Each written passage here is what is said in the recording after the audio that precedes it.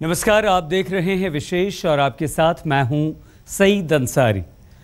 आसाराम की ज़िंदगी सलाखों के पीछे तो तीन महीने से भी ज़्यादा वक्त से है। लेकिन अब हवालात की हवा उनके बेटे नारायण साईं भी खा रहे हैं। दोनों ही पिता पुत्र पर एक ही तरह का मुकदमा दर्ज है बलात्कार का। लेकिन अट्ठावन दिनों तक भागते फिरने वाले नारायण साईं की मुसीबत इस बात से बढ़ती नज़र आती है कि उसके नार्को टेस्ट और ब्रेन मैपिंग के आसार भी दिखाई दे रहे हैं।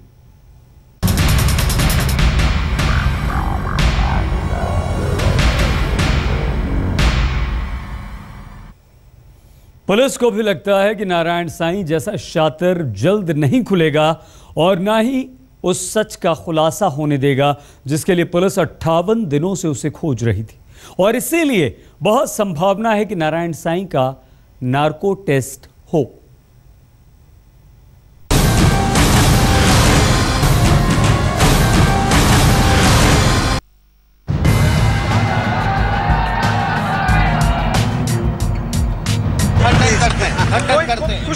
आपने खंडन खंडन करते हैं। इन आरोपों का खंडन जब खुद पर इतना ही भरोसा था तो क्या ज़रूरत थी नारायण साईं को दो महीने तक मारा मारा फिरने की? लेकिन जब कानून का हाथ बढ़ा तो बलात्कार का आरोपी नारायण साईं खुद ही अपनी बेगुनाही की गवाही देने लगा।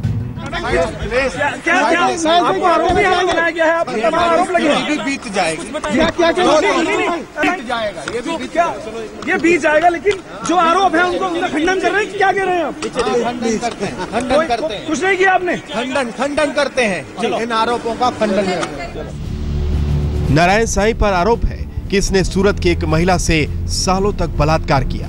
दो महीने तक छिपता फिरने वाला नारायण साई जब पकड़ा गया तो खुद को बेकसूर बताने लगा।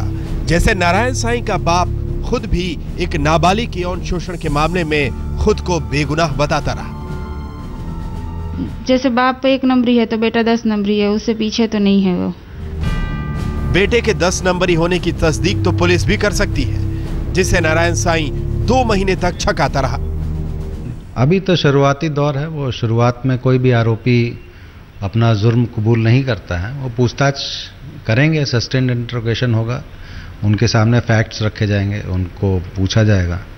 मुझे उम्मीद है कि वो at the end of the investigation इस केस से रिलेटेड जो भी इनके पास जानकारी है, वो हमें देंगे।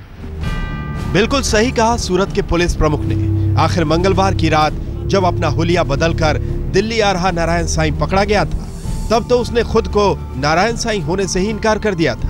अब कह रहा है कि वो बेगुनाह है।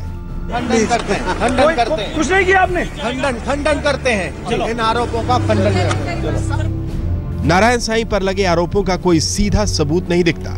ऊपर से वो खुद पर लगे आरोपों से इनकार कर रहा है। ऐसे में सवाल है कि सच्चाई सामने आएगी तो कैसे? तो क्या पुलिस नारायण साईं का नार्को टेस्ट कराएगी ताकि आध्यात्म की आड़ में सालों तक चलने वाले पाखंड की हर सच्चाई साईं की जुबानी ही सामने आ जाए?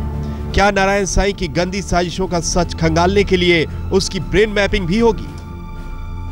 अभी तो ये सवाल सूरत पुलिस के जहन में ही उमड़ घुमड़ रहे होंगे, लेकिन सूरत पुलिस के कप्तान ने तो इशारा कर दिया है कि सच को सामने लाने और इंसाफ की हिफाजत के लिए ये सब किया जा सकता है। बिल्कुल, अगर साइंटिफिक एविडेंसेस हमें कलेक्ट करनी है तो नार्को एनालिसिस ही क्यों? ब्रेन मैपिंग और लाई डिटेक्टर टेस्ट पे भी उनको रखा जा सकता है। और हम कोशिश करेंगे कि जितने ज़्यादा से ज़्यादा साइंटिफिक एविडेंसेस इस केस में हम कलेक्ट कर पाएँ उतना इस केस के लिए अच्छा होगा। नारायण साई की गिरफ्तारी के बाद अब पुलिस इस मामले में नार्को एनालिसिस टेस्ट और ब्रेन मैपिंग टेस्ट करवा सकती है क्योंकि मामला काफ़ी पुराना है और आरोप काफ़ी गंभीर। वैसे में सबूत इकट्ठा करने के लिए नार्को एनालिसिस टेस्ट और ब्रेन मैपिंग टेस्ट काफ़ी ज़रूरी है। ज़ाहिर है सूरत पुलिस अब नारायण साई से मुकम्मल पूछताछ करना चाहेगी। खबर है कि सूरत पुलिस नारायण साई को आमने सामने बैठाकर पूछताछ कर सकती है। इस जाँच में दिल्ली पुलिस की भी मदद ली जाने की खबर है। साथ ही ये भी जाँच होगी कि फरारी के दिनों में नारायण साई की किन किन लोगों ने मदद की। लेकिन कमाल देखिए कि दो महीने तक पुलिस को चकमा देने वाला नारायण साई पकड़ा गया तो भी मुद्रा ऐसी बनाई, मानो आध्यात्म की नई ऊंचाइयाँ फतह कर रहा हो। सबसे संगीन आरोपों को भी वो हवा में उड़ाते चल रहा है।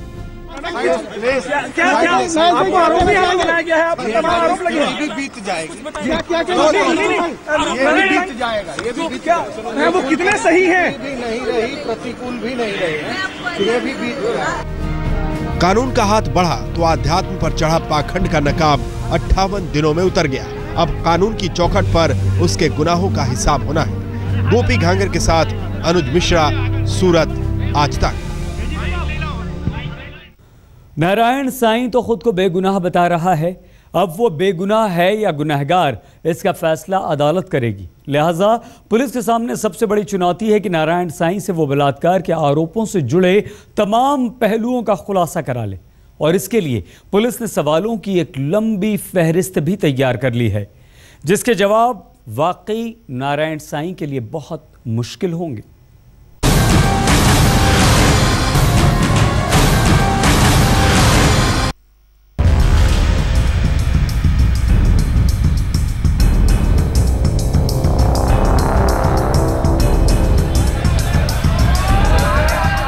अंठावन दिनों तक पुलिस से भागने के बाद पाखंड का ये चेहरा जब पहली बार नमूदार हुआ तो वो उतना ही बेशिकन, बेपरवाह और बेलिहाज दिखा, जितना वो आम दिनों में हुआ करता था। कभी वो हाथ उठाकर अपने भक्तों का अभिवादन करता तो कभी ऐसे मुस्कुराता, जैसे वो बलात्कार के इल्ज़ाम में नहीं, बल्कि किसी और ही वजह से पकड़ा गया हो।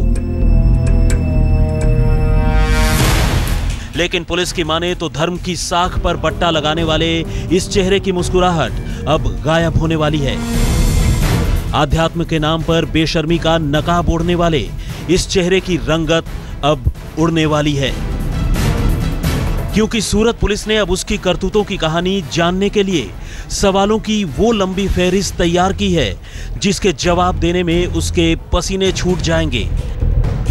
ये सवाल न सिर्फ़ सत्संग के दिखावे से लेकर कलंक की कुटिया तक के हर राज को तार तार करेंगे, बल्कि ये भी बताएँगे कि किस तरह सालों साल इस बाप बेटे ने लाखों लोगों की आँखों में अंधश्रद्धा की वो पट्टी बाँध दी, जो सारी पोल खुलने के बावजूद खुलने का नाम नहीं ले रही है। दरअसल नारायण साईं के पास बलात्कार के इल्ज़ाम से जुड़े तमाम राज तो हैं ही। इतने दिनों तक पुलिस से भागने के दौरान उसने जो जो हथकंडे अपनाए और जिन जिन लोगों ने उसकी मदद की, पुलिस को अभी उन लोगों का भी पता करना है।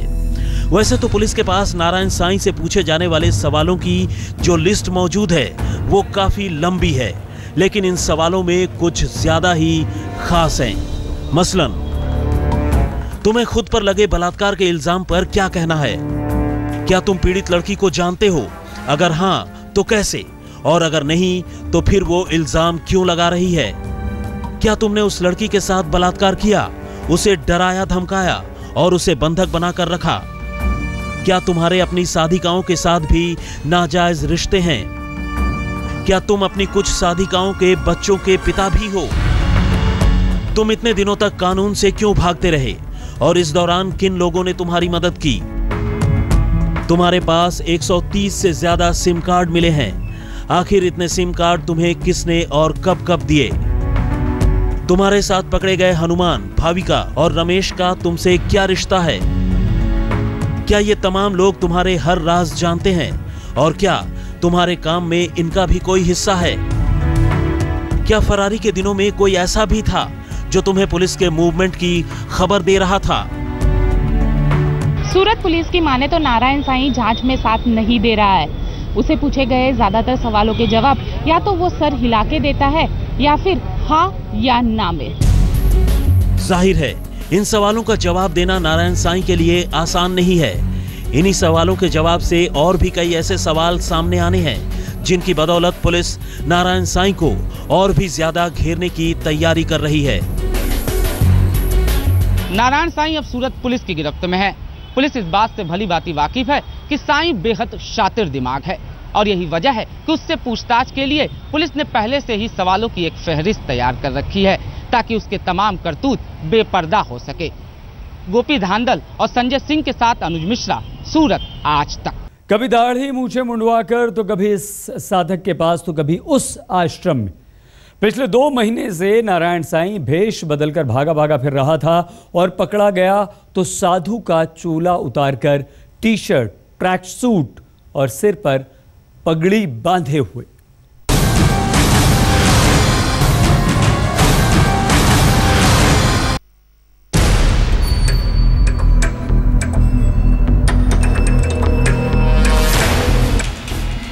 अट्ठावन दिनों तक देश भर के कई राज्यों की पुलिस को दौड़ाने और थकाने के बाद आखिरकार जब संत का चोला पहनकर लड़कियों की आबरू से खेलने वाला नारायण साईं पकड़ा गया, तब हाव भाव के साथ साथ उसका हुलिया भी बदला हुआ था। पुलिस को धोखा देने के लिए उसने साईं का चोला उतार कर ट्रैक सूट और पगड़ी पहन रखी थी।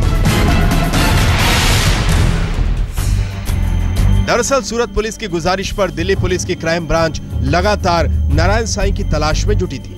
इसी बीच मंगलवार देर रात दिल्ली पुलिस की क्राइम ब्रांच को खबर मिली कि नारायण साईं लुधियाना के नज़दीक एक गौशाला में ठहरा हुआ है। खबर मिलते ही क्राइम ब्रांच की टीम फ़ौरन लुधियाना की तरफ़ कूच कर गई, मगर तभी मुखबिर से पता चला कि नारायण साईं लुधियाना की गौशाला से अचानक निकल गया है और दिल्ली हरियाणा बॉर्डर की तरफ़ बढ़ रहा है।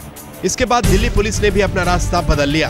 पुलिस के पास उस इको स्पोर्ट्स गाड़ी की भी जानकारी थी, जिसमें नारायण साई सवार था। पुलिस अब साई की गाड़ी का पीछा शुरू कर देती है और आखिरकार कुरुक्षेत्र के पास पीपली गाँव में गाड़ी को घेर लेती है। नारायण साई कार की पिछली सीट पर छिपकर बैठा हुआ था। पहले तो पुलिस भी उसे देखकर गलत फहमी में पड़ गई। साई को कभी इससे पहले ट्रैक सूट और पगड़ी में किसी ने देखा भी नहीं था। मगर पुलिस चेहरा अच्छी तरह पहचानती थी। लिहाजा साई को दबोचने में ज़्यादा दिक्कत नहीं आई। इसके बाद पुलिस ने जैसे ही उसे अपनी गाड़ी में बिठाया तो साई हाथ जोड़कर पुलिस से बोला, प्लीज़, मुझे मारना मत। मैं ही नारायण साईं हूँ।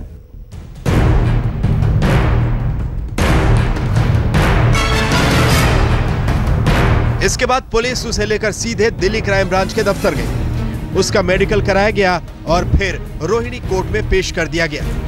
तब तक सूरत पुलिस को भी साईं की गिरफ्तारी की खबर मिल चुकी थी। लिहाजा सूरत पुलिस की टीम भी बुधवार की सुबह तक दिल्ली पहुँच गई। आज तक ब्यूरो। नारायण साईं तो पकड़ा गया। सूरत पुलिस उसका नार्को टेस्ट भी करवा सकती है। लेकिन क्या हाल है नारायण के पिता आसाराम का? बेटे की ही तरह बलात्कार के आरोप में जेल में बंद आसाराम पर कानून का शिकंजा लगातार कसता जा रहा है।